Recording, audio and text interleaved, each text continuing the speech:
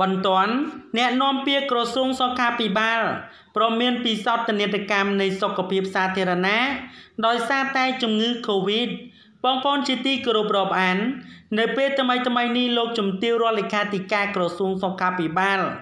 លោកជំទាវអវ៉ាន់ឌិនបានប្រមានធ្ងន់ធ្ងរចំពោះបញ្ហា Covid នៅពេលបច្ចុប្បន្ននេះ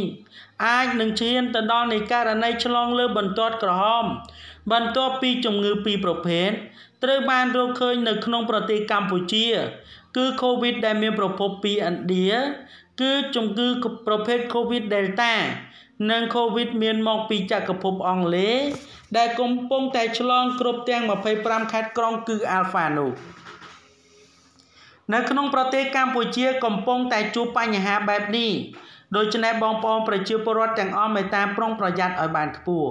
ដូច្នោះកុំឲ្យប្រិយមិត្តរបស់យើងរងចាំយូរ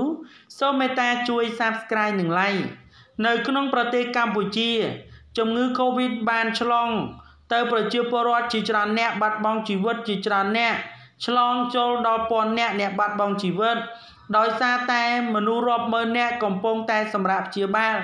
នៅក្នុងមន្ទីរពេទ្យតាមផ្ទះ និងនៅចំពោះមុខវិបត្តិនៃជំងឺនេះលោកជំទាវវិជ្ជបណ្ឌិតរដ្ឋលេខាធិការអ្នកនាំពាក្យក្រសួងសុខាភិបាលនៅក្នុងថ្ងៃទី16ខែកក្កដានេះបានប្រមានថានឹងករណីទាញ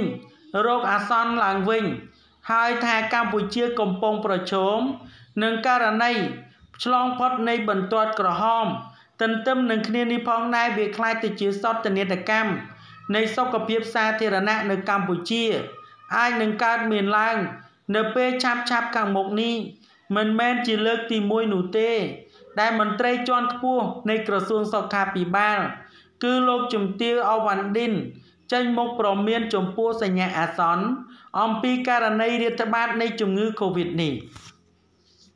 តាមរយៈបណ្ដាញទំនាក់ទំនងសង្គម Twitter លោកជំទាវអវ៉ាន់ឌិន រដ្ឋលេខាធិការនិងអ្នកនាំពាក្យក្រសួងសុខាភិបាលខាងលើ លោកបានលើកឡើងថាប្រសិនបើពលរដ្ឋនៅតែមិនអនុវត្តវិធានការ3ការពារ3កុំឲ្យបានខ្ជាប់ខ្ជួនទេនោះកម្ពុជានឹងមិនផុងបាននឹងមិនផុងខ្លួនចូលទៅកាន់ជំរឿកាន់តែជ្រៅរហូតហួសបន្ទាត់ក្រហមនោះទេ គ្រោះថ្នាក់នៃជំងឺ Covid លើបន្ទាត់ក្រហម គឺជាកត្តារាតត្បាតលក្ខណៈទ្រង់ទ្រាយធំ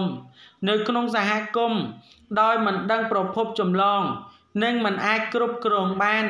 ចំពោះអត្រានៃបាត់បង់ជីវិតក៏កើនឡើងច្រើន ហើយជាងពេលនេះទៅទៀតដែរវាក៏អាចនាំឲ្យមានបញ្ហាធ្ងន់ធ្ងរជាងនេះដែលបង្កឲ្យមានការលំបាកច្រើន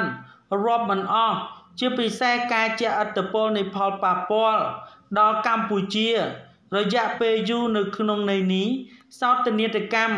សុខភាពសាធារណៈអាចនឹងកើតមានឡើង នៅក្នុងពេលដ៏ខ្លីខាងមុខនេះការចេញមុខប្រមានរបស់លោកជំទាវអវ៉ាន់ឌិនធ្វើឡើង បន្ទាប់ពីករណីជំងឺ Covid បំលែងថ្មី ដែលមានឈ្មោះថា Delta មានច្រើនករណី ហើយនឹងជំងឺបំលែងថ្មីប្រភេទ Alpha វិញក៏បានកំពុងតែចរាចរ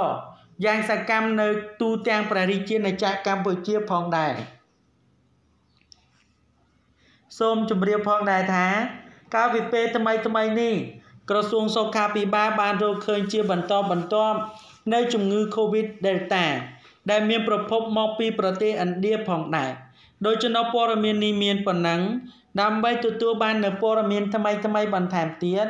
សូមមេត្តាជួយ Subscribe និង Like